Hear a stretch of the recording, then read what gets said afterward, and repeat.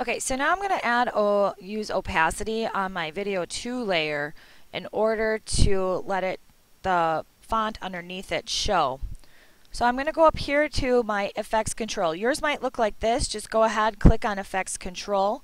You're going to open up the opacity tab and wherever your blue bar is, make sure that's at 0, 0 right now and you're going to go ahead and you're going to hit add keyframe. Now, when you do that, you're telling your video that at this point in time, you want your opacity 100%. I'm going to move the bar down to almost to the end, and at this point, I'm going to hit that keyframe again, but I have to tell it, as I watch over here, what percentage I want it to fade out to. So that looks good. I'm going to move my bar back, and over here now, and I'm going to turn off my music so you don't have to hear the music.